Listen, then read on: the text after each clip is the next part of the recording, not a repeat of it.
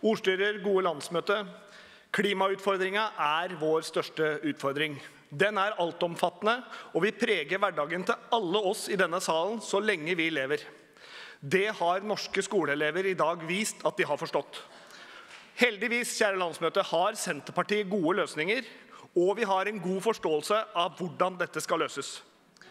Klimaendringene kommer ikke fra kua eller fra myra, sånn som noen later til å tro. Klimaendringene er menneskeskapt, kjære landsmøte, menneskeskapt, og kommer av det forbrukerdrevne samfunnet og et enormt behov for energi.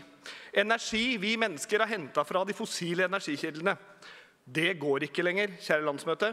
Vi må vri vår energibruk fra det fossile til det fornybare og det naturlige grønne kretsløpet. Senterpartiet, Senterpartiet er den fremste talsmannen for denne vridninga.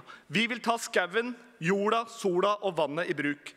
Og jeg er også sikker på at Nøkkelen til omstilling ligger i en formel bestående av de klare politiske vedtakene og initiativene, sammen med et framoverlent næringsliv, bransje for bransje, sektor for sektor. Norge er også heldige. Olje har tjent oss godt. Men unektelig så går også oljealderen mot slutten. Da må vi uansett ha et teknologiskifte og et energiskifte.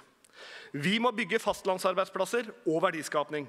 Og i det skiftet har vi allerede en grunnmur.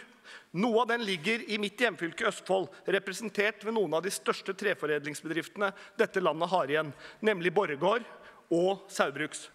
Men det som er urovekkende, er at myndighetenes rammevilkår er i ferd med å kvele disse. Saugbrugs er f.eks. hittil blitt nekta CO2-kompensasjon, til tross for at man oppfyller krava for sånn eh, kompensasjon. Det betyr at virksomheten starter 80 millioner kroner bak sine konkurrenter.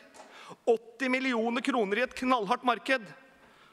Nå ligger ballen hos Elvestuen, og det gjør meg ikke akkurat betrygga. For dette handler om politisk vilje.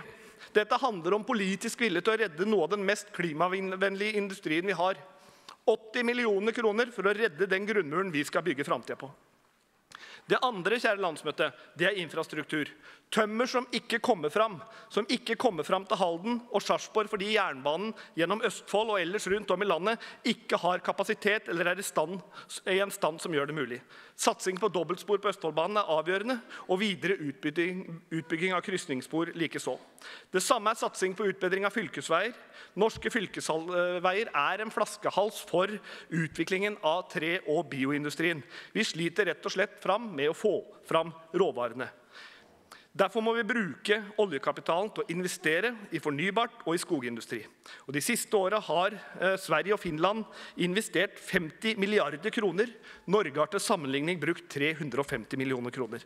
Senterpartiet må aksle denne trøya for å få til et teknologiskifte gjennom en aktiv næringspolitikk som skaper lønnsomme verdikjeder for tre og bio til beste for klima og verdiskapning og Norges framtid.